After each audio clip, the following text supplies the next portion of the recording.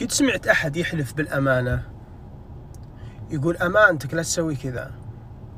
ترى أمانة ما تسويها. أمانة ما تروح عني. يستخدمها للتأكيد أو يعني الإثبات أو النفي. قد سمعت أحد كذا؟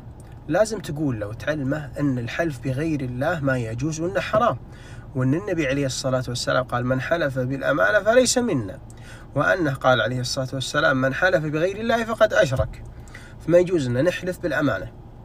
أو بالآباء أو الأمهات أو المصحف أو الكعبة أو الأنبياء أو الرسل أو النعمة. ما نجوز نحلف بغير الله. من كان حالفا فليحلف بالله أو ليصمت.